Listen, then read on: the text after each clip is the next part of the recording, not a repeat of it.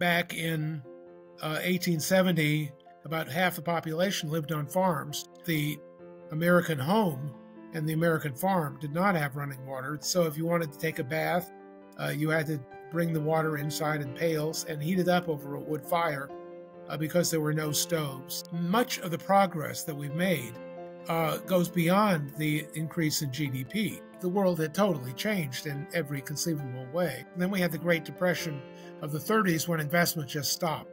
But in investment stopped, but invention and innovation did not stop. The percentage of uh, Americans who have completed college has stalled out at around 40%, partly because college is so expensive. It's amazing that uh, the number of robots in manufacturing in the US uh, has tripled in the last 15 years, and yet productivity growth has been zero.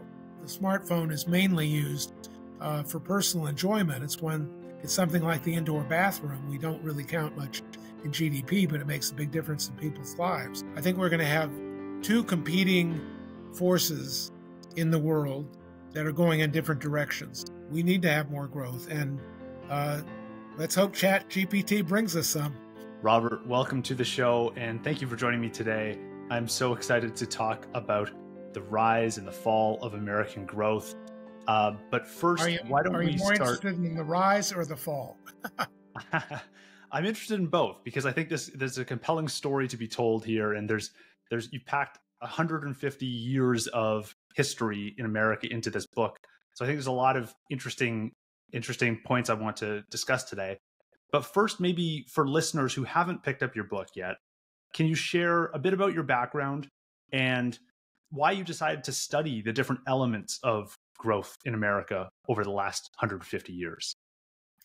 Well, it really all started out in graduate school when I noticed something very odd about American growth, and that is um, between the 1920s and the 1950s, um, the American economy surged ahead, wound up after World War II with a much higher standard of living than had been possible in the 1920s, without apparently any uh, additional capital stock. The stock of buildings and equipment, according to our government data, had run down during the 1930s, and we were left with uh, much less capital than we had the 1920s, but much more output. And so that was a puzzle.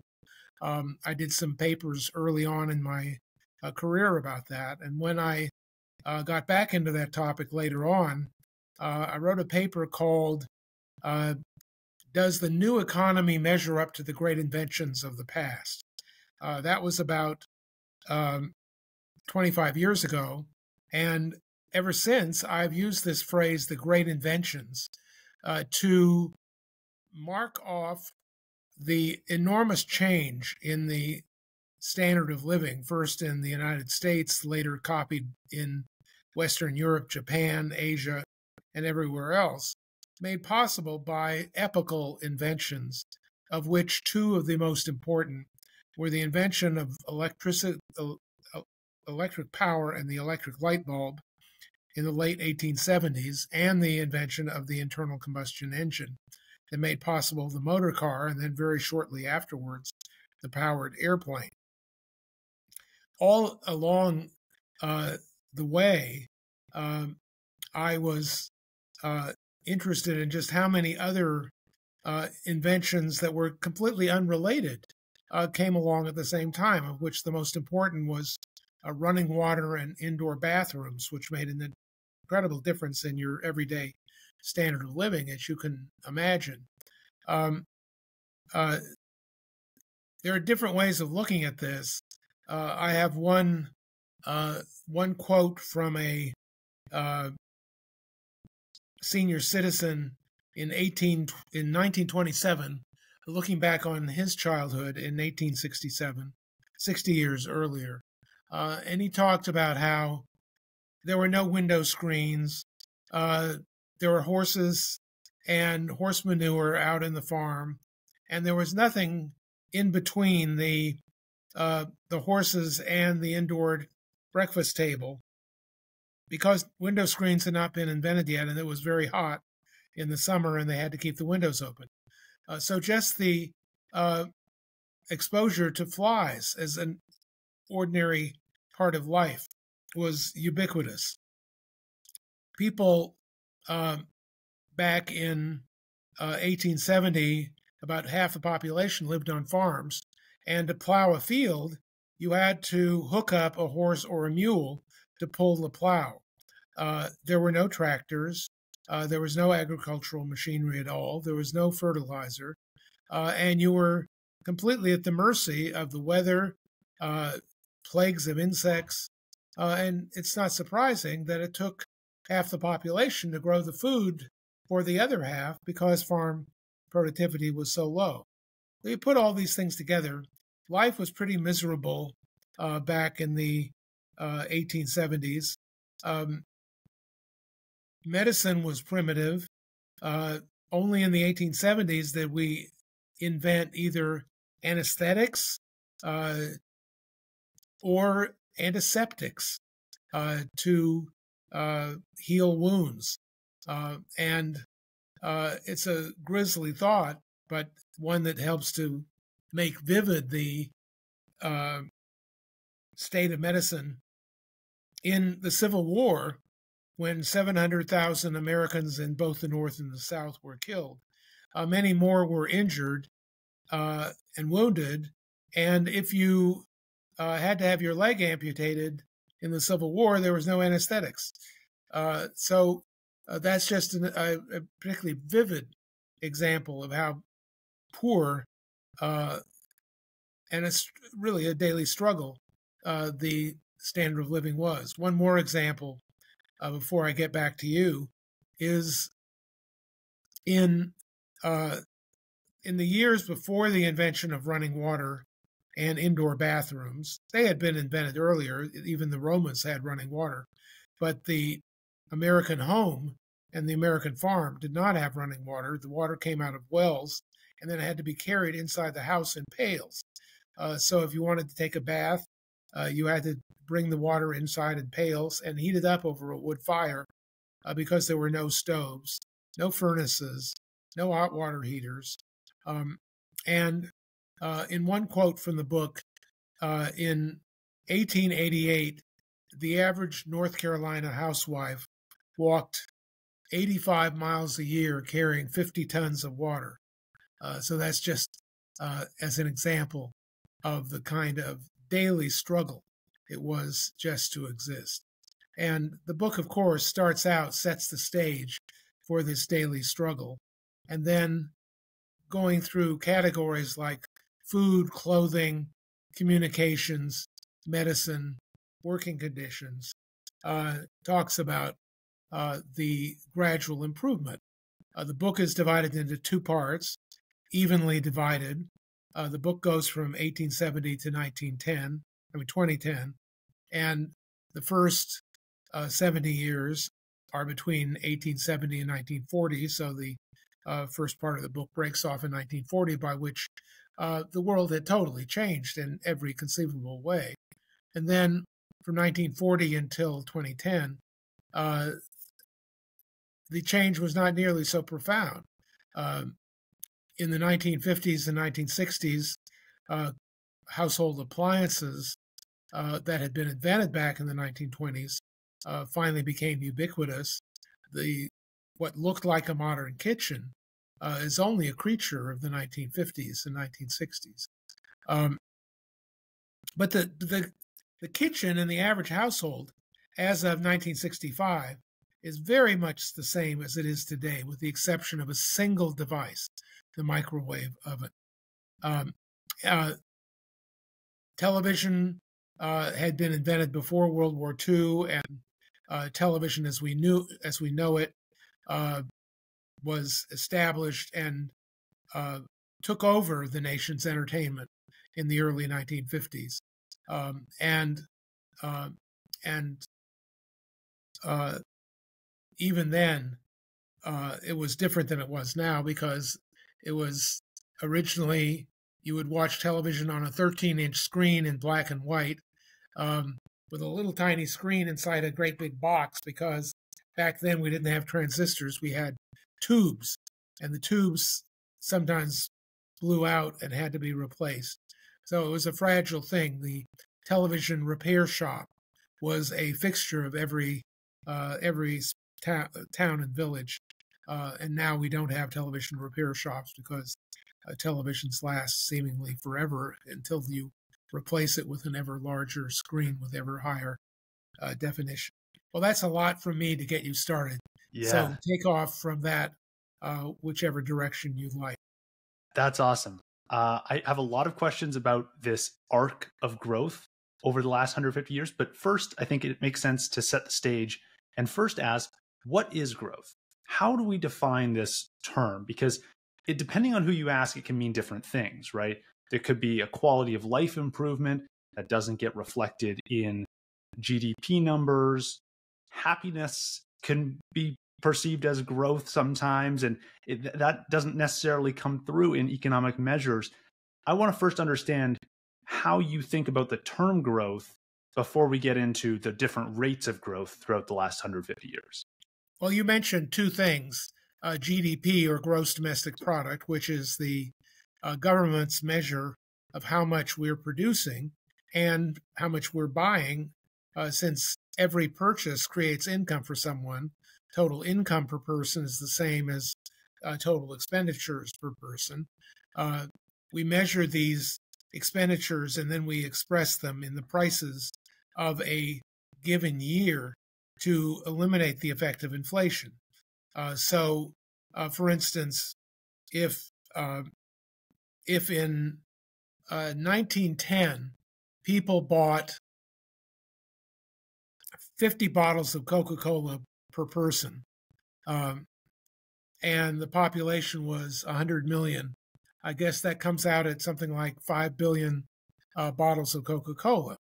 And that contribution to GDP would not be measured at the five cents it cost in the year 1900, 1910, uh, but at the 50 cents or so that would cost today to buy the same amount of Coca Cola.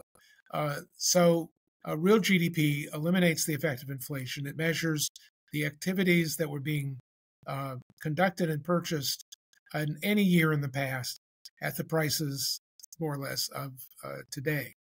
So that's GDP per person, but that's not the entire story. Uh, you mentioned the word happiness. Um, take something like uh, running water uh, that made possible the indoor bathroom and got rid of the outhouse. Uh, that made only a small contribution to uh, GDP. Once the bathroom was built, uh, the only real expense was the cost of the running water, which in many places was free. But of course, there was an enormous increase in happiness uh, with the ability to uh, combine a hot water heater with running water, and take a bath or a shower, um, and have running water not only in the bathroom but also in the kitchen. Um, so much of the progress that we've made uh, goes beyond the increase in GDP.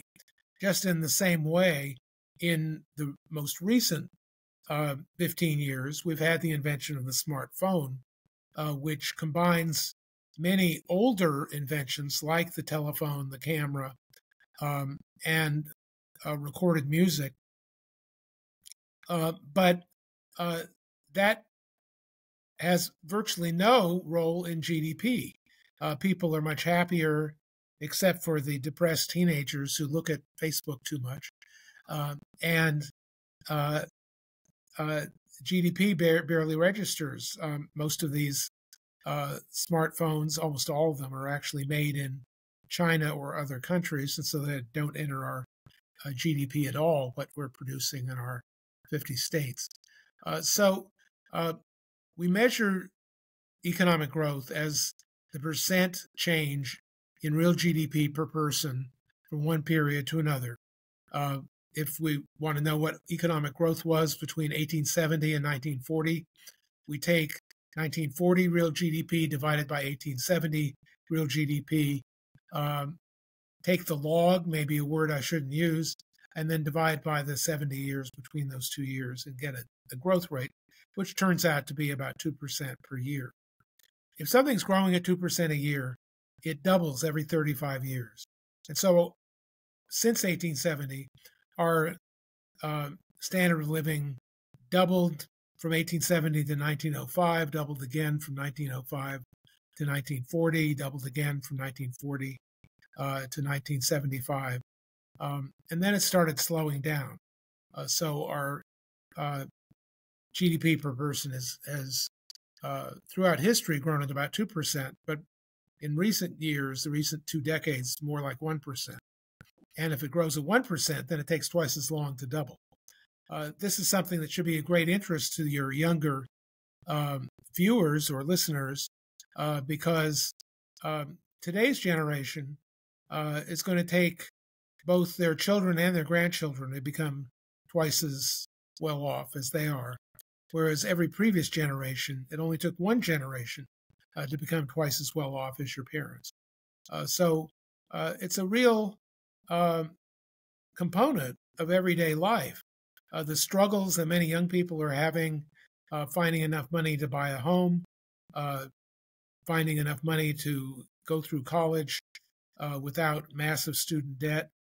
a lot of the issues that are everyday concerns now were not as vivid and real in people's lives uh, in earlier generations. Uh, so mm. back to you. Yeah, that's really fascinating. Um, I also want to bring attention to something you mentioned in the book the, the role of people and the role of capital in creating growth. And so there's like, I think there's two ways that someone might think about growth. One is you just have more people and they're producing more things. Another might be capital and automation and some other tools to get leverage on someone's ability to create more things. What is well, the role of those two over the last 150 years and how have that how's that changed? The way we measure the improvement in our well-being is either GDP per person or GDP per hour. Um, if we uh, talk about GDP per hour, that has another name called productivity uh, the amount each hour of work is uh, producing. And productivity growth is the, the source of our overall improvement in well being. We can use that increase in productivity in our output per hour either to work fewer hours and have longer vacations. That would be one use of our productivity. Or we could use it to work the same number of hours and have that increase in output per hour translate directly into output per person um, with the each person working the same number of hours. So productivity is the source of our growth. And productivity in turn uh, depends on how many machines each worker has, each worker hour.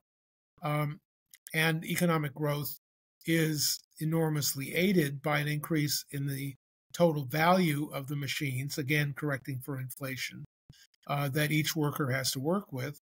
Um, but growth goes beyond that. Uh, it was shown long ago um, that we can't account for the full increase in our standard of living by just counting up um, machines of a given type. What's happening is that ever better machines are being built uh, we're uh, moving from horses, which were a type of capital, to tractors with internal combustion engines, to ever more powerful and larger tractors. And as a result, um, now we have, of course, uh, tractors that can guide themselves and have built in uh, GPS uh, location uh, capabilities that can plow a field or plant seeds without human intervention. So it's the improvement in the quality of the machines uh, that is the uh, is the real source of our growth. Um, and uh, an economist put it this way: if there were no improvement in the machines, then economic growth would consist of piling more wooden plows on top of the existing wooden plows. Um, but the fact we're not relying on wooden plows anymore, we're not even re- relying on metal plows, we're relying on very advanced computerized uh, tractors, combines, and other agricultural machines. So the, the the word for this improvement in the quality of machines, um, uh, typically the measure of the machines doesn't fully reflect their quality, uh, comes out in uh, something called technical change. So the sources of um, economic growth are primarily growth in the number of machines per hour or the size of them, um, the quality of them, and then a, a third component of economic growth is education. Back at the turn of the last century in 1900, only 10% of Americans completed high school. By 1980, that uh, had grown to about 85% from 10%. And you can bet that the fact that far more of our population were educated in high school, had been through basic arithmetic and algebra, um, maybe knew a foreign language, um, contributed to the fact that we were much more productive at the end of the 20th century than we were at the beginning. Now, later on, we'll talk about some of the headwinds that have slowed down the, the rate of growth, as I mentioned before. And one of them is that the transition to a population that has fully completed high school has already taken place. Very few people now don't graduate from high school. If they don't graduate from actual high school, they go back and get a GED degree uh, that substitutes for high school. Mm-hmm. Um, then there's college. Uh, the percentage of uh, Americans who have completed college has stalled out at around 40%, partly because college is so expensive. Uh, so that, that source of growth of more and more of the population being college educated uh, was a real driver of economic growth between 1950 and uh, 2000, uh, but is less so uh, now. So just to wrap up that that idea, output per hour productivity can grow because each hour of work by a human being is working with a larger number of machines, bigger machines. That's called capital per hour.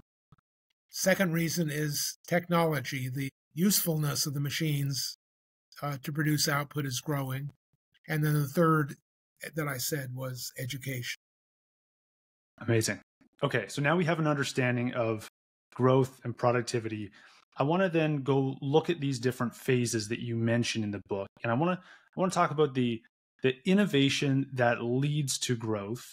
And you you highlight a few of these in your book. You first mention in this first industrial revolution phase, I believe you said it was the steam engine that kind of then led to trains, steamships, iron, steel.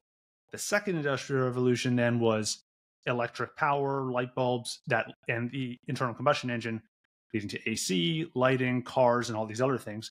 And then your your third industrial revolution, computers, leading to all the advances that we've seen in technology and communications. Right. And let's I, just let's just for the audience be clear on when these three industrial revolutions took place. Uh, sure. Uh, the first industrial revolution with the steam engine and cotton spinning and cotton weaving being automated uh, took place between 1750 and 1830. Um, then there was a lull with not that that much being invented, but the transition uh, made possible by the railroad and the steamship uh, was the dominant um, source of progress between, say, 1830 and uh, 1900. Then the second industrial revolution came came in starting in 1870. Uh, we had the electric light bulb in 1879, the internal combustion engine in 1879, the first electric power plant to uh, bring electricity to nearby homes and businesses in New York in 1882. So this period of 1870 to 1880s was full of, of inventions. The telephone in 1875, uh, another one, photography, which uh, barely had gotten started in the Civil War. Um, and then uh, it took a long time for these um, second industrial revolution inventions to percolate through the economy. Uh, the real impact of electric motors in manufacturing was something that uh, waited until the 1920s. Uh, even though wireless transmission had been uh, invented in 1895, it wasn't until 1920 that we got the first uh, commercial radio station. Uh, and then television was invented in the 20s and 30s, but the first TV stations were delayed by World War II and came on the air in 1946 and 47. Then the um, computer revolution was pretty pretty drawn out. Um, we had the first electronic computers right after World War II, um, more and more powerful mainframe computers uh, in the 50s, 60s, and 70s, and then the invention of the personal computer uh, with the uh, path breaking IBM personal computer in 1982, uh, complemented by Microsoft uh, software in um, uh, the 1980s. Um, as just one anecdote, um, IBM uh, subcontracted the software of the IBM personal computer to a young fledgling firm called Microsoft.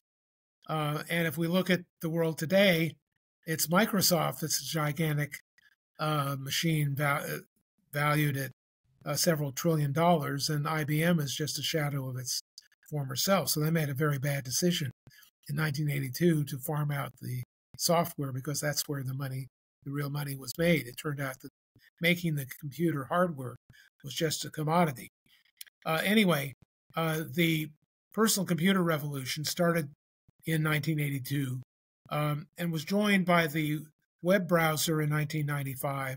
And very shortly after that, we have the search engines of Google starting in 1998, the transition to broadband away from hooking up to your telephone. Uh, I remember when I would go on a trip uh, around 1995 and I wanted to uh, get my email and I was on a trip, I would take my laptop into the hotel room and unplug the phone and get the phone and plug it into a phone plug in the corner of my laptop and hook up uh, through the phone line using a code that was recorded in my laptop uh, that would go beep, beep, beep, beep, beep, and connect my laptop with the uh, computer back at my home university. Uh, so uh, we've gone way beyond that with broadband, and you're always connected and uh, soon uh, after the search engine came the flat screen that we're all now used to, both on our television sets and our computers. Um, uh, now, is there a fourth industrial revolution? Everybody's excited about artificial intelligence uh, and um, robots. Uh, so far, uh, these two components of the fourth revolution AI and robots have not shown up in our productivity statistics. Um, it's amazing that uh, the number of robots in manufacturing in the U.S. Uh, has tripled in the last 15 years, and yet productivity growth has been zero uh, in manufacturing. So we've got some real puzzles out that out there. As uh, the, I, I, do have the answer to the robot puzzle, and there just aren't enough of them uh, robots are very few in number compared to the overall size of the uh, number of machines. We, we call the total number of machines valued in dollars, we call that the capital stock. And the amount of investment that brings new capital in is about a trillion dollars a year for new machines. And robots make up only about 1% of that. Uh, so uh, everywhere you look, there there are machines that are not robots that are being purchased, including those new um, flat screen replacements for cash registers that you see in every uh, large and small store. Mm. So those are the the four industrial revolutions. We're still waiting uh, to see the real impact of the fourth.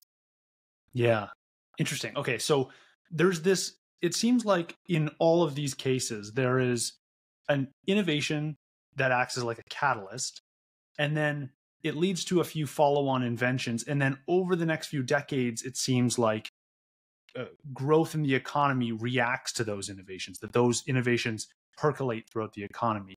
Is it is it fair to say that we have had enough time in this third industrial revolution now to see all these changes from the computer percolate through the economy? Or are things like AI and robotics just extensions of that third invention there with the computer, and it may just take I think ten or twenty. That's years. a very good point. Whether um, whether AI and robots uh, should be considered just an extension of the third industrial revolution, the digital age, um, and a further fruition, uh, just as the smartphone was. Uh, that's drawing a line that really is not very important. Um, back in 87, uh, when the economy seemed to have slowed down its productivity growth uh, from the golden age before 1970, um, around 1987, a famous Nobel Prize winner, Robert Solow, said, We can see the computer age everywhere, but in the productivity statistics. Um, and that was uh, 1987, if we think of it, was the time when um, every professor by then would have become used to his first, his or her first uh, personal computer, uh, as pathetic and small as the memory and speed of those early computers were. Uh, the computers were all around us in our offices, but we couldn't see the productivity payoff. Um, right after that, um, an economic historian at Stanford named Paul David wrote a famous article in which he said, just wait, uh, it's coming. The productivity effect of the computer is coming because look at the electric motor. Uh, as I said, the first electric power um, uh, first was produced in 1882, and it wasn't until 1920, about 40 years later, that the real impact in manufacturing productivity of electric machines uh, became evident. So Paul David said, just wait. Uh, the electronic computers had been around for uh, 20 or 30 years. Uh, the mainframes had been around. Um, and suddenly in 1995, a productivity revolution occurred in the United States. Oddly enough, not in Western Europe, but in the United States, our productivity growth doubled. Um, it was 1.5% per year uh, between the early 70s and mid 90s. And then for a decade, we enjoyed productivity growth of around 3% a year. Um, as all these things I mentioned uh, became in common use. Uh, the personal computer, ever faster, ever greater memory uh, with web browsers, search engines, e commerce, flat screens, and broadband, all those things came into play almost all at once between 1995 and 2000. Uh, you may remember the phrase dot .com. Uh, .com, of course, is the suffix for web addresses. And the revolution of the late 1990s, with all these things happening at once, was called the dot .com revolution. The stock market went crazy, um, and the value of the S&P 500 stock market index tripled between 1995 and 2000. Uh, didn't stay up uh, forever, uh, but uh, that was the euphoric dot com age when it seemed as if everything was uh, a new world. Um, and uh, in my reckoning, by 10 years later, by 2005, the impact of the digital revolution on business firms uh, was pretty much over. The use of desktop and laptop computers in business and the speed and power of them um, is not that much different today than it was in 2005, almost 20 years ago. And that's one reason why our productivity growth has slowed down. The smartphone is the big invention of the last 20 years, uh, but the smartphone is mainly used uh, for personal enjoyment. It's when it's something like the indoor bathroom. We don't really count much in GDP, but it makes a big difference in people's lives. Um, and it remains to be seen whether AI is something like uh, the smartphone or whether we have uh, another big upsurge in productivity. I'm skeptical about AI, but we can talk about that later on when we get to the more modern yeah. Uh, issues. So, one thing I'm trying to understand is like when you think about the big innovations that that preceded some of the growth in these different phases, how much of the growth is dependent on that one innovation and how much of the growth is dependent on other cultural factors, dynamism. There's, there's a lot of other factors at play that could contribute to these growth statistics. And I'm I'm curious to know is it is it just like if we happen to get lucky with one really big breakthrough innovation, the next 30, 40 years are smooth sailing from a growth standpoint? Or is it are is it multifaceted? Are there different pieces that are required to to get sustainable long term growth? Uh, I think pretty much the uh, the the way to think about this is um, each of these inventions um, has a different story on how it happened. Uh, Thomas Edison experimented with hundreds of different types of filament to get something that would create an electric light bulb that would last for more than a few seconds. Um, and as a result of tireless experimentation, all of a sudden he developed something that was almost ubiquitous within 10 years, talking of electric light. Uh, and electric power, as I said, took longer. Um, electric power made possible, of course, the subsequent digital age wouldn't have been possible without electric power. So you could argue that electric power was the big invention of the last 200 years, even more important than steam power, um, because most of the uh, steam engines have been replaced now with smaller and more efficient uh, electric motors. Uh, the internal combustion engine we now see is being replaced by electric vehicles, um, but not everywhere. Uh, we don't have electric powered airplanes. We don't have electric powered ships.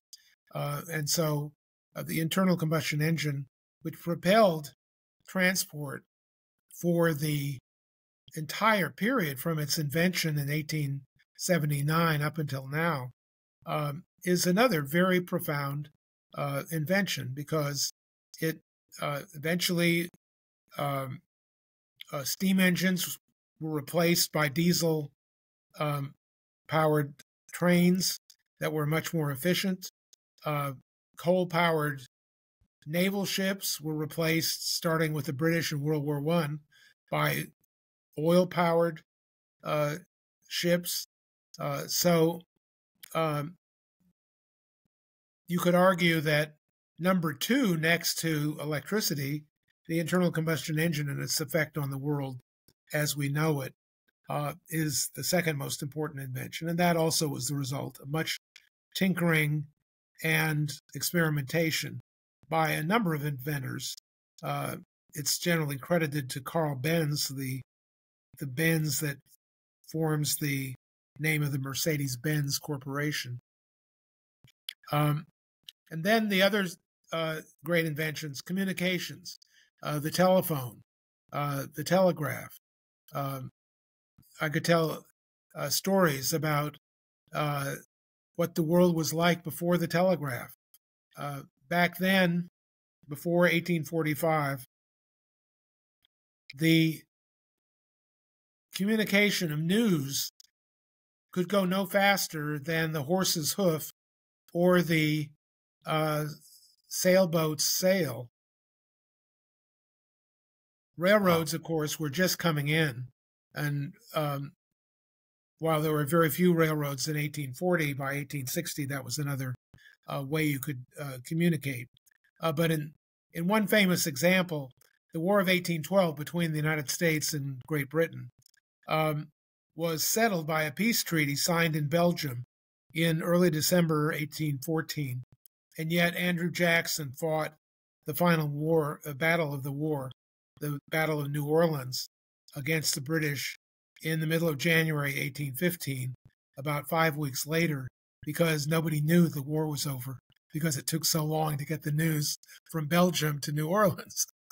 Um, wow. And as you can imagine, in those days, it took a sailing ship plus a horse bound or horse uh, pony express type news uh, coverage. So uh, that just gives you an idea again of just how incredibly primitive uh, the standard of living was uh, if we go back then. Mm-hmm. Yeah, it's wild to think about, and I, I think reading your book, even for someone who's not, if someone is listening to this and they think to themselves, I'm really not interested in economics. I don't really care much about inflation. Just the historical information about what life was like in the last 150 years to me was mind blowing. And and that that already and was let's a totally just, new perspective. You won't learn a thing about inflation from my book. Don't worry about that. you won't you won't uh, understand why it happened, when it happened, or if it'll happen again. Uh, because that's not what the book is about. The book is about the standard of living, what everyday life was like for people, mainly for average people, people in the bottom half of the income distribution. Um, we've got plenty of um, uh, Gilded Age type TV series to show us uh, what life was like for the elite, um, rich people at the top. But this book is about the majority of the people who uh, were living from day to day, but the um, types of jobs they had uh, just completely changed. Uh, and we've only touched on that with the fact that half of half of the workers in the country as late as 1900 were on farms struggling to make to grow crops without anything but the help of a horse or a mule. Mm-hmm. Okay, let's move to the the second kind of phase in your book. So the first phase you're chronicling from 1870 up till about 1920. Then you have 1920, 1970, and 1970 onwards. That 1920 1970 phase, it was the fastest time of growth in America. And you mentioned a couple of the innovations that the electric power and the internal combustion engine leading to that. But you also mentioned in the book the the role that the Great Depression and World War II might have played. Can you talk to me about how those affected growth and, and why, during a time when we had two horrible events, we also saw tremendous growth? Well, let's let's step back to the 1920s. The 1920s were known as the Roaring Twenties. Uh, there was a lot of um, implementation of those great inventions. Um, uh, electric motors became common in manufacturing, replacing uh, inefficient steam engines. It used to be a factory would have a big steam engine in the middle, and then a whole set of rubber give power, bring power from the central steam engine to the individual worker. And that was very inefficient because it would be very hard to regulate the speed of these leather and rubber belts, and they were always breaking. That was replaced by having individual small electric motors right at the workstation of each worker. Um, and electric tools became common, as well as electric uh, machines. Uh, so that uh, revolution was well underway in the 1920s. And then we had the Great Depression of the 30s when investment just stopped. But in investment stopped, but invention and innovation did not stop. There was a lot of stuff invented in the 1930s that just did not have a chance to influence the economy uh, because uh, demand was so slack and business firms were hanging on trying to avoid bankruptcy and didn't have any money to uh, to buy these newly developed uh, innovations. One of the one of the uh, landmarks of the 1930s is that's when most of the everyday plastics that we use in our economy today were uh, were developed, and also the first antibiotics uh, were developed. Sulfa was the first antibiotic, followed by penicillin, which was invented during World War II. Then came the war, and um, in in my view, the the great puzzle that I first identified back in, in graduate school of this enormous increase in the economy's ability to um, produce goods and services uh, had several different components. First of all, the things that were invented in the 1930s already were becoming evident in a huge increase in productivity in 1940 and 41 before the war actually broke out. Another thing that happened is that partly because of the New Deal under Roosevelt and the uh, early impact of labor unions, we made a transition from the 60 hour week to a 40 hour week. Um, and it turned out that people could do, because 60 hour weeks were so tiring, people could do almost as much work in a 40 hour week as in a 60 hour week. So, that, of course, if you're doing the same production in that many fewer hours, that raises productivity, which is the ratio of output per hour. So the hours were shrinking as the output was staying the same or uh, going up. And then I think there was an intensity to production in World War II. People just learned how to be more efficient and cut corners because of the all out war effort everybody was pulling together. Uh, the, the nature of cooperation between uh, business firms and workers uh, took on a new phase. There's still a lot of controversy about how we wound up in 1948 uh, producing so much more than we did in 1929. How much of it happened before the war broke out? How much was due to what uh, people learned during the war? But we wound up in 1948 with just a, a much higher level of productivity and output per person. Um, economists, as the war was ending, we were terribly afraid that we'd go back into the Great Depression because nobody really understood the Depression and assumed that once the government's enormous spending on wartime uh, uh, weapons um, tailed off, that the economy would sink back without the government demand. But it didn't happen. Um, the reason it didn't happen was understood almost immediately, and that was uh, because of rationing, because people couldn't buy anything during the war. Food was rationed, clothing was rationed.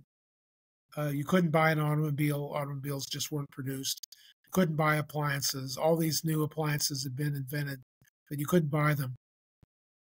So people got paid for working in the war plants, but they couldn't buy anything, so they saved all their money. Uh, a huge amount of saving took place in 1943, 44, 45. And the minute the uh, war was over, people went running out trying to buy things. And so the much heralded return of the Great Depression did not occur. And the economy went on to the prosperity of the 1940s, 50s, and 60s. Uh, we didn't really uh, come off of that uh, sort of steady 25 years of prosperity until the early 1970s. Uh, so that's that's sort of a general picture of this uh, remarkable increase.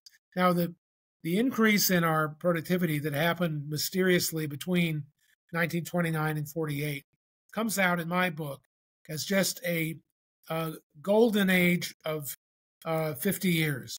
Between 1920 and 1970, uh, productivity growth in the U.S. was 3% a year for almost 50 straight years faster than it was before 1920, faster than it was after uh, 1970. Um, and I have not seen any uh, kind of general set of ideas besides this notion of the great inventions uh, that uh, can explain uh, that um, that particular timing. Now, in Europe and Japan, productivity growth wasn't fast in the 20s and 30s. It picked up after World War II because there had been so much destruction, so much chaos, uh, so much damaging of of capital, buildings, and equipment. So in uh, in France, the period between uh, 1945 and 1975 is known in French as Les Trente Glorieuses, the glorious 30 years. Um, and uh, that's because the things that we were developing and inventing in the United States in the 20s and 30s weren't really feasible in Europe or J- Japan until uh, 1945. If you look at productivity growth in Western Europe, it was not just 2% or 3%, it was 5% between 1950 and 1975. Uh, and that was uh, the result of this big backlog of inventions that had already started percolating in the U.S. economy and just hadn't made it across the Atlantic. Mm. One thing you mentioned was the hours spent working in the 30s and 40s. It dropped around the, the, New Deal. It went from 60 hours to 40 hours. And I believe before that, before 60 hours, it would have just been working on your farm all day until until you're done, basically. Well, of course, so of, you know, of course, the the fifty percent uh, of the workforce in agriculture uh, were working from dawn until dusk during the harvest season and the planting season, and, they, and during the winter in North Dakota, they weren't even going outside. So, of course, it was a very uneven uh, uh, number of hours of work. But if we talk Right. about the non-farm uh, part of the economy, the workers in manufacturing, services, retail, um, the average work week was 60 hours a week during the time from 1870 to uh, the late 1920s. And then uh, we came out of World War II, and it was more like 40 hours a week. And the exact time when that change took place is distorted by the uh, Great Depression. Got it. Okay, so 19 uh, late 1800s to early 1900s, we're at 60 hours a week. After World War II, we're at 40 hours a week. Today, people are asked people are staying at home, collecting stimulus checks, asking for four day work weeks. What is your view on how that evolves over time? Is 40 hours like what makes 40 hours an optimal number? Is it just was it just kind of picked out of a hat? Do we go Yeah, up from here? Do we go down from here? It's eight times five. And Right. many um, many many clerical workers office workers uh, work 37 and a half hours a week which is seven and a half times five uh, of course we now have the work at home movement uh, and who knows how much uh, the people are actually working at home uh, unless they're hooked up by zoom all day uh, it's very hard to monitor it and there's a uh, this goes beyond the book because working at home is a, a phenomenon of the last two or three years um, but uh, there's a lot of controversy now about whether uh, that's good or bad for productivity and whether people today are working or doing something else during the hours they would otherwise be commuting into work. Those commuting hours are now available either for work or for home activities that are not work. Um, and I don't think we have the uh, the government surveys are not yet up to the task of answering that question. Um, Would you like to see, like, i- i- just a, from a personal perspective, having studied growth and productivity, do you think if you were in charge of setting work hours for America today, would you be advocating for a more than 40 hours a week or less than 40 hours a week or just keeping things the same? You're going to make me sound like a slave driver. No way. no, I think um, in most European countries, they've chosen to reduce work hours not by going to a uh, 30 hour week, but rather to take longer vacations. They want their vacation time bunched together so they have four or five week vacations in France and Germany, and that's universal. It's part of uh, labor law uh, that they have to have those vacations. In the United States, there are many things that are different about the United States that are, in comparison to Europe, anti worker. We not only have shorter vacations, we don't have parental leave uh, for new parents, um, we don't have uh, as generous uh, sick leave, um, and uh, we also retire later. Uh, you know, the French are going through conniptions fighting the government, which is trying to raise the retirement age from 62 to 64, uh, whereas our to get your full Social Security um, uh, amount, you have to work until 70. Uh, to get a medium amount, you have to work till 67. Uh, and if you quit at 62 and retire, uh, your annual Social Security payments are substantially reduced. Um, but basically, the retirement age in the U.S. is later than it is in, in many countries. So we do work harder, um, particularly in, in having shorter vacations uh, than other countries. And there's no particular movement in this country to change that because labor unions are so weak.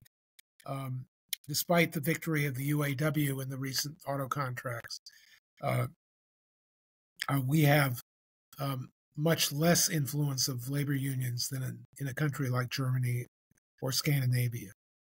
But now again, we're hmm. getting past the time horizon of the book, which ends in 1910. Right. Okay. Um, let's let's go into the the kind of headwind phase here, and this would be 1970 to present. Let's say. Um, what was it about this period that caused growth to slow down? Because this is the the rise was kind of the first phase and the second phase, and then now this is the fall of American growth. Why is it slowing down now? Okay, well, let's. Uh, we had almost three percent annual growth in productivity over those 50 years, the golden 50 years between 1920 and 1970. Um, from 1970 until now, uh, the numbers more like one and a half percent.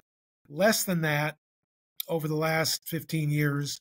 More than that in the decade that I call the dot com decade between 1995 and 2005. So it's not been even. It's not been a uniform slowdown. But uh, everybody wondered about the source of the slowdown, which was quite evident starting in the early 1970s. Productivity growth noticeably slowed down after the um, after the uh, 19. My answer is the obverse of the explanation of the great 50 years, and that is we ran out of the uh, impact of the inventions. There's only so much they could do. The households had their appliances, the factories had their electric machines. Um, 1970, by 1970, we'd already made the transition from the piston commercial aircraft to the jet commercial aircraft. The Boeing 707 was introduced in 1958 and we're not going any faster now than we were in 1958 on the Boeing 707. Uh, so uh, commercial aircraft speeds uh, reached a peak. So it wasn't that we went slower, it's just that we stopped growing ever faster. Uh, so if you think of the enormous change between the sailboat and the horse uh, before 1840 and the subsonic jet plane going at 550 miles an hour. Uh, that was uh, that transition had been made, and uh, in another uh, interesting comparison, there's a there's a letter I think uh, in a recent issue of Financial Times, the British uh, equivalent of the Wall Street Journal, a letter writer wrote to the Financial Times um, and mentioned my book and referred to her grandfather, who had lived a primitive life in a cabin on the plains, maybe one horse. And her grandfather, who had grown up in that primitive uh, environment, lived to see a man on the moon in 1969. And the letter writer said, We have not made the same speed or degree of progress from 1912 to 1969 that my grandfather lived through uh, that has happened. What's happened since 1969 to 2023 that's comparable? Well, the personal computer and the smartphone uh, and the microwave oven. Uh, that's about it. Uh, but it's not as profound as uh, what what happened before. so that's the basic explanation. Now, you talked about the headwinds.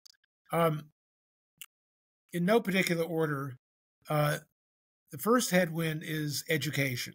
I mentioned that we went from 10% completing high school in 1900 up to about 85% by 1970, very slow increase since then. So much of the improvement in education had already occurred by 1970.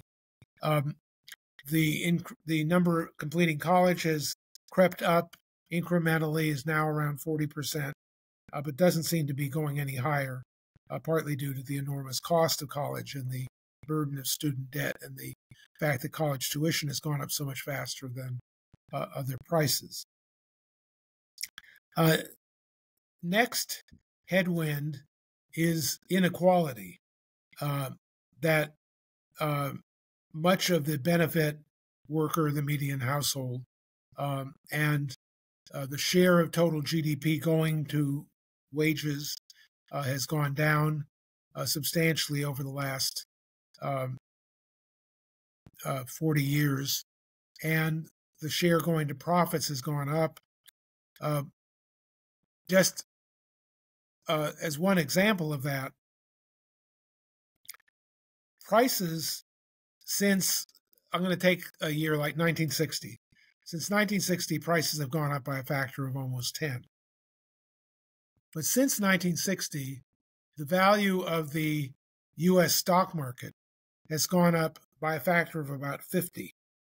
And the ratio of the value of the stock market to GDP has doubled uh, since, any time in the past you want to you want to pick out.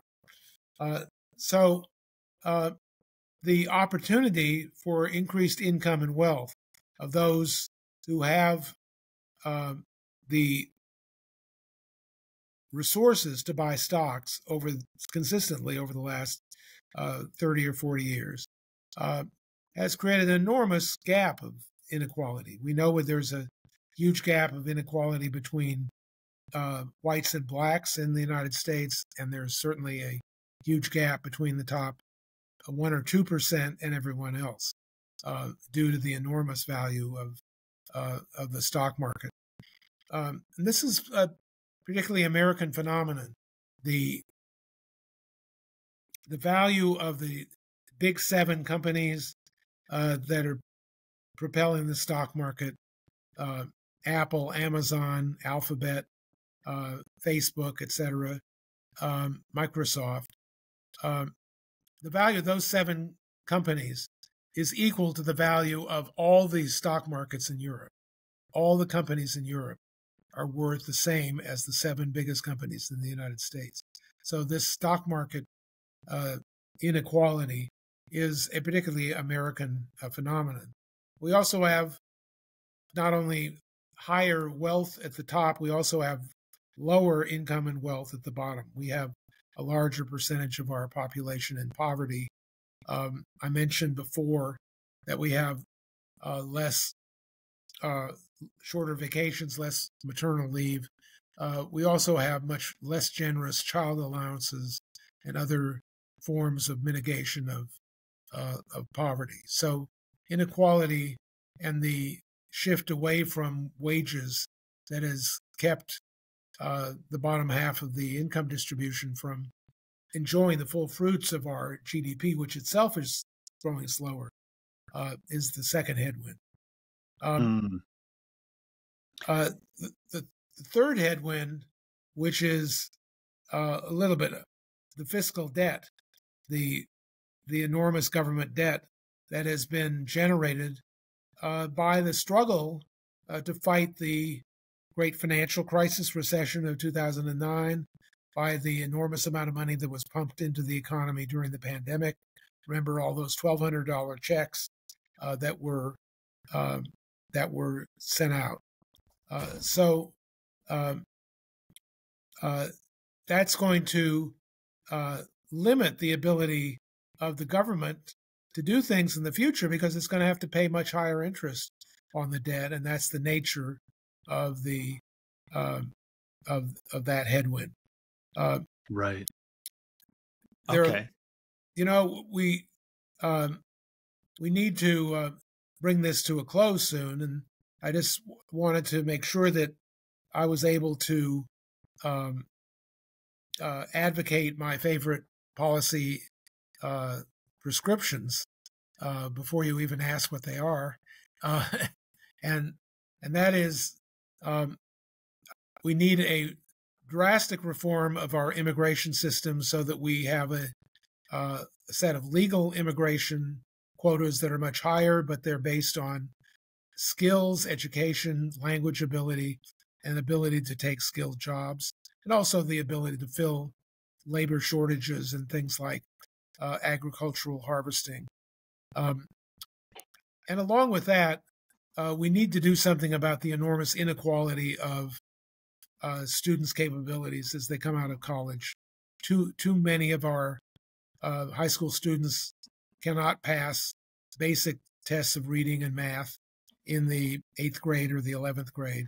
Um, and to deal with that, I think we need to go all the way back into preschool education and have universal preschool, but in particular, preschool that's heavily oriented toward uh, minority and disadvantaged groups uh, to try to uh, reduce that tremendous vocabulary gap that emerges as early as kind- kindergarten.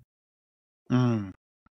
Okay, this is all this is all very helpful in understanding these headwinds that we're, we faced in the last 50 years. There's one other theory that I've seen all over the internet. It wasn't specifically called out in your book, but I wanted to bring it up and get your view on it uh, as well. And this theory, it, it basically there's a website. It's called "What Happened in 1971," and it's all about. It shows a ton of charts of things that have gotten worse basically since 1971 very close to the 1970 kind of time frame you you highlight in the book and the reason what exactly they, is it again i got to look this up it's well the, the website's called wtf happened in 1971 and uh, it it basically shows all these charts of things that have gotten worse in the last 50 years and there oh, i gotta see this i gotta see this yeah it's a great website i highly recommend you check it out but the, the thing that they imply in this website is the thing that did happen in 1971 was that the US went off the gold standard. They suspended the redeemability of dollars and gold. So the, they kind of tie in that with all the other things, the ills of, that have gone wrong in the last 50 years. And they claim that that is a playing a, a major role in the rising inequality, the rising debt levels, being able to print more money, not having to re- redeem, not having to you know give someone gold in return for their dollars.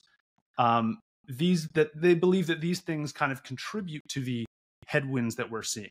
I'd love to hear your thoughts on what role money has to play in this, in, in whether or not the U.S. going off the gold standard about 50 years ago has played a role in exacerbating all these issues it's funny you bring this up because uh, one of my best friends is a uh, elderly economist who uh, dates all the ills of the American economy back to going off gold in 1971. So I'm very familiar with this.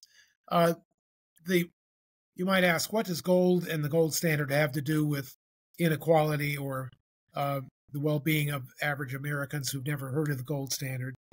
And the the channel by which it matters is that the the monetary system since um, 1971 has been one of flexible exchange rates. Uh, that is, the value of the dollar goes up and down. Now, when the dollar is very valuable, which has happened uh, again and again, and is true right now, uh, it's very expensive for foreigners to buy American exports, and it's very cheap for Americans to buy foreign imports. Um, and uh, this exp- expensive dollar, uh, which makes foreign currencies cheap, uh, first uh, uh, first uh, became a real problem in the mid 1990s. it was sort of covered over by the dot com revolution, but starting in the 1970s, sorry, in the 1990s, we got this great flood of imports from China, and China kept their exchange rate very cheap. And so it was very cheap to buy goods from China, and many American factories went out of business, and their workers, often in small Midwestern towns uh, like Fort Wayne, Indiana, or um, uh, Youngstown, Ohio, uh, suddenly found that uh, not only were all the factories in the town closed down with no good paying union jobs, but they couldn't move because their houses weren't worth anything because there was no demand for housing in that uh, stricken community. Um, so the link between the exchange rate of the dollar being too high and the demise of American manufacturing jobs is the one clear connection um, between international monetary policy and these working conditions of of everyday American workers. Um, I think the um, emphasis on the gold standard is is exaggerated um, because if you go deeper into this, which has nothing to do with my book at all, um, China could have chosen to have a very low exchange rate and to keep its goods cheap, even under the old gold standard system. Uh, after all, Britain devalued its pound in 1967 um, and made its exports cheaper. And any any country could have made its exports cheaper, even under the old system. So I think the um, I hope there's more to the 1971 website than just the gold standard because uh, a lot uh, a lot of things are worse off. The the thing that really stands out about the 1970s that this was the first decade when productivity growth really slowed down. And if we measure the median wage of the average worker, there's been very little improvement since the late 1970s. Uh, we've had almost um, four decades, say 1980 to 2020, of real wage growth less than uh, half a percent a year. Remember, I said 2% a year you'll double in 35 years, 1% a year you'll double in 70 years. Well, if the right things have been going, uh, it's going to take a lot longer than a century for the average living standard of the uh, median family to uh, to double.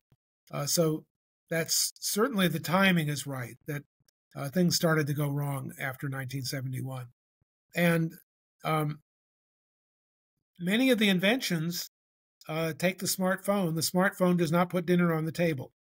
Uh, mm-hmm. may, you may be able to look up recipes on the smartphone, but you can't actually buy the food you need uh, to put in the oven uh, from a smartphone. Um, and uh, you know far better than I, because I'm sure you use your smartphone much more than I do, uh, that many of the uses of smartphones for taking videos, for doing social networking, uh, for listening to music um, are entertainment. And so we've got just vastly more sources of entertainment uh, than we used to. But life is not all about entertainment. That's right. Yeah. Just to highlight one other point that the the, the 1971 crowd believes, it, it, like going off of the gold standard, I think is um, it, by by making money less valuable and now at the at the whim of a government to print. I think the the case that this crowd would make is that now your savings are no longer protected. You have to start looking further and further out on the risk curve in order to get in order to get ahead meaning buying up real estate buying up stocks exacerbating that that inequality that you kind of mentioned. Um, and that you know you may not be incentivized to save and and think long term anymore and you're now all of a sudden looking for maybe it's entertainment maybe you're looking for short term dopamine bursts rather than uh, you know building something for the long run because your your wealth is corroding if you can't store it in something that is finite and scarce. That's the yeah there the there your chronology is all wrong. Uh, mm. we had a lot of inflation in the 70s um, connected with the first and second oil shock when oil prices went up so much. Um, but since 1990, from 1990 to 2020, we had 30 straight years of average 2% inflation. Very stable. None of the things you just mentioned were occurring. Um, the inflation we've had in the last two and a half years uh, broke a record of 30 years of, of steady 2% inflation. And we know now that it was a pandemic inflation that took took the form of people who could not buy services, could not, uh, would not go to retail stores, restaurants, concerts, sporting events, uh, took their money and they bought goods, um, particularly home computers, home exercise machines. Um, and we developed a tremendous shortage of these goods. Uh, car prices went way up because of a shortage of computer chips. And um, the uh, Ukraine war uh, led to a temporary upward shooting of uh, gasoline prices. Uh, so we had a shortage inflation. The success of the Federal Reserve in bringing inflation down uh, tells us really nothing about the power of the Fed. It tells us that the shortages unwound uh, and that people no longer were afraid to go to the gym, so they'd stop buying exercise equipment. And they no longer had a shortage of computer chips, so they uh, the price of used cars and rental cars uh, came down. Uh, so the inflation we've had of 2022 and 2023 was very unique, uh, was very tied in with the pandemic, and had nothing to do with going off the gold standard. Um, and the 20 year, the 30 years before 2020, uh, we had a mysteriously benign regime that people don't quite understand how inflation was so stable for so long. Um, mm-hmm. So that aspect of the 1971 story, I don't think uh, works out. Yeah, that's fair. I, I, hear you on the the different phases there. I guess to finally follow up on on this and kind of wrap this up, uh, is the is the power to print money without having a stable commodity behind it is that a concerning trend for growth looking forward that that if you know some other event does occur maybe it's a pandemic maybe it's something else um, that a government is able to print more money into circulation and and that that total capacity of money has has grown pretty dramatically over the last five ten years. Um, is that a concern and a headwind for uh, inhibiting kind of progress? No the, uh, take the difference between the united states and argentina. Argentina has more than 100% inflation. Venezuela has had as much as 800% inflation so you're absolutely right that uncontrolled growth in the money supply can lead to unprecedented huge rates of inflation. But in most civilized countries in the world, and I uh, hate to say Argentina is not civilized, but its its fiscal and monetary policies certainly have been. Um, in most countries in the world, the central bank, which has the power to create explosive growth in money, has steadfastly vowed not to do that by having a 2% inflation target. Um, and when inflation goes above 2%, as we've seen in the United States in the last two and a half years, uh, the uh, central bank raises interest rates to get that money supply growth down and to get the inflation down. Uh, so it it is within the power of the central bank, but the central banks don't want to have that power and resist it in most well-run countries. The countries that um, have experienced rapid inflation have tended to be taken over those that have been taken over by left-wing governments that put on massive subsidies to keep prices of consumer staples down those subsidies cost huge amounts of government money that creates a government deficit the deficit is financed by money creation and lo and behold they get inflation that's the story in argentina that's the story in venezuela and other countries like zimbabwe uh, that have had huge inflations. Um, but uh, the developed countries in the world, the euro, Canada, Japan, US, uh, they're all vowing to keep inflation stable. And they're taking action when it was not stable, even though it was not their fault. Mm-hmm. Okay, that's fair. Um, all right, to wrap this up, this whole conversation, I just want to um, I want to think about the next century. You you use this term the special century in your book talking about that period 1870ish to 1970ish some of the some of the critical innovations the 0 to 1 moments in America. I'd love to hear your thoughts on if you can set the stage for why, you know, take take the position that we're on the cusp of another special century. I know in the in the end of the book you you you highlight all these headwinds that you know maybe people believe that then we're not on the cusp of a special century. But let's take the position that we are. What are the key innovations? What are the things that need to happen in order to make this next hundred years as special as that 1870 to 1970 phase? I'm going to reject your premise. Uh, okay. I think the I think the main things that are going to happen in the next uh, I don't go out 100 years. I don't even go out 50 years. In my book, I forecast the growth of productivity uh, between 19 between 2015 and 2040. So let's just look at the next uh, 25 or so years.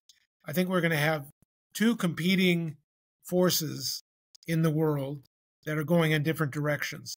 One is artificial intelligence, which is going to steadily make it easier uh, to to do creative work of all types, whether it's video images, uh, artwork, essays, contracts. Uh, you've seen the uh, the in, enormous uh, success and popularity of Chat GPT. So everyone's going to have their own specialized AI at their fingertips. Uh, it's going to be nightmare for uh, instructors of writing composition because the students are all going to have access to a machine that can write their essays for them. And I'm facing that right now in a freshman seminar that I teach. Uh, but uh, the other thing is climate change. I think the overriding thing that's going to happen over the next 40 to 50 years is going to be a lot of investment to make the transition away from fossil fuels. It's not going to make us better off. We're going to be trading one form of electric generation for another. We're going to be throwing out gas furnaces and installing heat pumps. They're not going to make our houses warmer. Uh, the struggle to get rid of those final emissions of carbon into the atmosphere is going to involve how do we make steel without emissions? How do we fly uh, airplanes without emissions? Uh, those are going to be very difficult um, uh, hurdles that we may just give up. We may wind up flying airplanes slower. I see just an enormous number of obstacles. Uh, you probably read about the huge increase in the electric grid that we're going to need to power all the both the artificial intelligence computer networks and the um, uh, electric generation for the electric vehicles um, and the electric furnaces and the electric everything. Uh, talk about electricity being the most important invention. Uh. It's even more so now than it ever was. Uh, but um, so much of that investment is just going to be running in place to stand still in terms of our actual standard of living uh, to avoid something rather than to create something, to avoid climate uh, becoming too hot and the seas rising and, and all that. I think actually the influence of climate change, as I listen to myself talk about this, is just more important than artificial intelligence because I don't think artificial intelligence applies to many of the things that ordinary people do in their everyday lives. Uh, being able to write an essay with Chat GPT or design a book cover um, or edit a video is not going to change the fact that ordinary human beings are still arranging the goods on the shelves of supermarkets. And ordinary human beings are still driving snowplows through the streets of Evanston, Illinois on the particular morning that we recorded this. Uh, so uh, uh, I think artificial intelligence applies to um, a limited part of the economy, a limited number of the people, mainly the people who work at home uh, or have jobs like that. Um, and yet the fight against carbon emissions is worldwide and topic wide. Everybody is going to have to make sacrifices to make that happen. So let's wrap it up there. I think that's a nice, gloomy, after all, if I'm known as the prophet of pessimism, I've got to be consistent and be pessimistic about the future. Well, I appreciate you being honest. And uh, actually, you just you just introduced one other final follow up question I want to ask is, I think an important one is growth necessary? Because we've been looking at two percent per year growth for a long time. Sometimes it's three, sometimes it's one, but it's typically been positive in America. Is it bad if it's negative? What happens? What are the what are the ramifications of zero percent or minus one percent? Is there a positive outcome that could come from less growth. The problem is that some people do better than others. Some people's income goes up more than average. Some people's income goes up less than average. If the average doesn't grow, that means the people going up less than average are actually falling behind or going backwards. That's the reason why we need growth. It's to mm. keep it's, it's to keep the people below average going in the right direction. That's I think the simplest way to explain it. I see. So we need to have more growth. And uh, let's hope Chat GPT brings us some.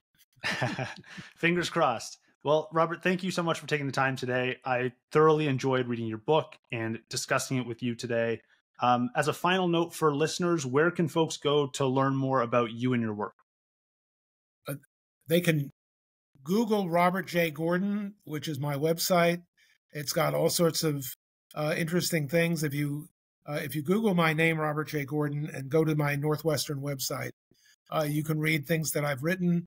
Uh, you can also see um, a photo gallery of uh, famous economists now and in the past.